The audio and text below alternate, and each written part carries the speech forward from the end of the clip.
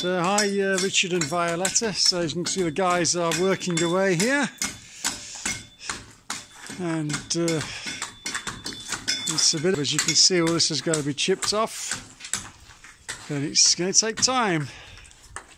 The boys are working very hard for this. Okay.